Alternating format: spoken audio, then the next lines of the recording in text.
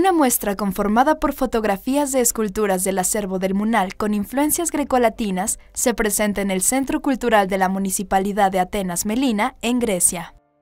Del 16 de enero al 16 de febrero, la exposición Neoclasicismo y Escultura México siglo XIX exhibirá 14 reproducciones fotográficas de esculturas realizadas por mexicanos como José María Labastida, Felipe Sojo y Gabriel Guerra, entre otros.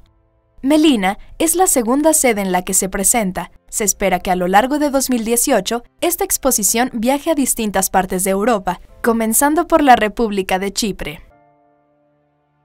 Notimex